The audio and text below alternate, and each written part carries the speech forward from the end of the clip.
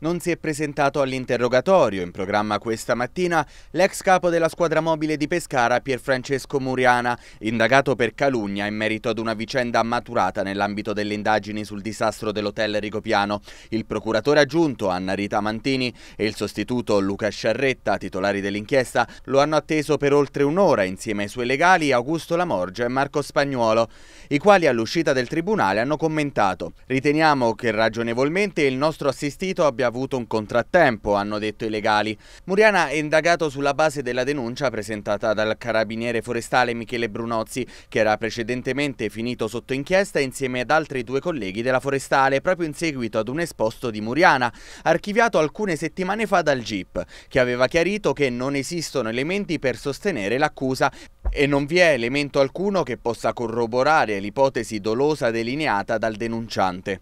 Muriana nella sua denuncia aveva riferito che il 27 gennaio del 2017, pochi giorni dopo la tragedia, trasmise via PEC ai carabinieri forestali l'annotazione dell'agente Crosta riguardante una telefonata effettuata dal cameriere del resort Gabriele D'Angelo, poche ore prima del disastro per chiedere aiuto al COC di Penne, contestando ai forestali di aver inoltrato tale annotazione alla procura solo il 12 novembre 2018 e di aver falsamente dichiarato che era già stata inviata il 27 27 gennaio dell'anno precedente. Inoltre accusava i forestali di aver falsificato il documento, cancellando la data e il numero di protocollo originariamente apposti sulla nota. Immediatamente scattò un controesposto dei forestali che ha portato all'apertura di un primo fascicolo a carico di Muriana per favoreggiamento del depistaggio, al quale ora si aggiunge il secondo fascicolo per calunnia.